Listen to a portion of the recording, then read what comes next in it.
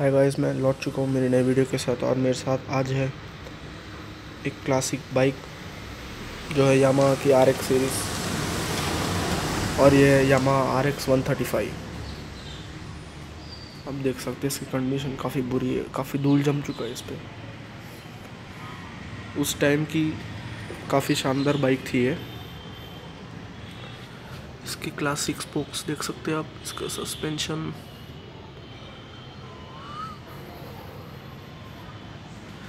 इसका spherical headlamp देख सकते हैं, जो काफ़ी आर एक्स बाइक्स में था। आर एक्स सीरीज़ के बाइक्स में।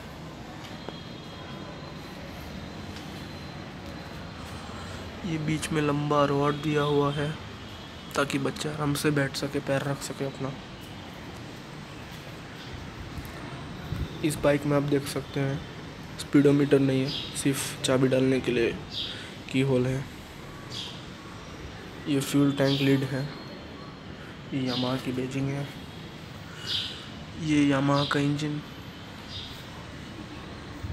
बाइक काफ़ी लंबी है और येलो कलर में आप देख ही सकते हैं इसको। और ये रिफ्लेक्टर ये इसके आगे की ब्रेक इसका क्लच है ये, इसका क्लच ये गियर है, सारे गियर पीछे है, चारों गियर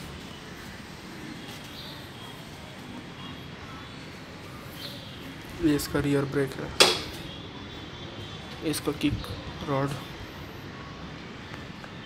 इसकी साइलेंसर देख सकते हैं, जो आर एक्स हंड्रेड में भी यूज़ किया गया था।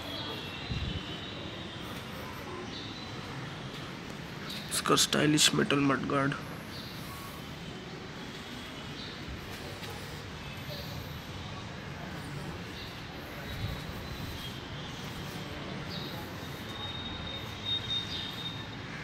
गार्ड इसका रियर का लुक इसका सस्पेंशन है रियर अभी भी अगर इस बाइक को रिस्टोर की रिस्टोर किया जाए तो ये बाइक काफ़ी शानदार लगेगी। आज भी काफ़ी कॉलेज के बच्चों की डिमांड है इस बाइक पे। R X series R X hundred R X one thirty five जैसे सीरीज़ है, जैसे आप ये देख सकते हैं R X one thirty five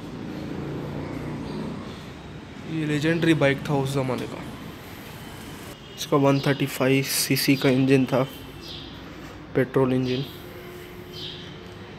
इसकी पिकअप काफ़ी शानदार थी टू स्ट्रोक बाइक था ये। आजकल सारी बाइक फोर स्ट्रोक आने लगी है।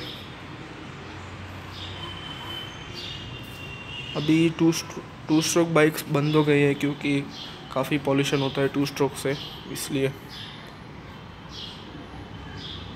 अभी बी सॉरी ये टू स्ट्रोक बाइक्स में बहुत पिकअप था। अभी ये फोर स्ट्रोक वाले बाइक की ताकत कम कर दी गई है और पॉल्यूशन कम होने की वजह, कम करने के लिए इसकी पावर भी कम कर चुके हैं। सो पिकअप कम हो जाती है कंपेयर टू उस टाइम के 135 सीसी और अभी के 135 सीसी का। काफ़ी शानदार लुकिंग बाइक है। काफ़ी गंदी हो गई है इसलिए। थोड़ी अच्छी नहीं दिख रही है। सो इस वीडियो के लिए इतना ही।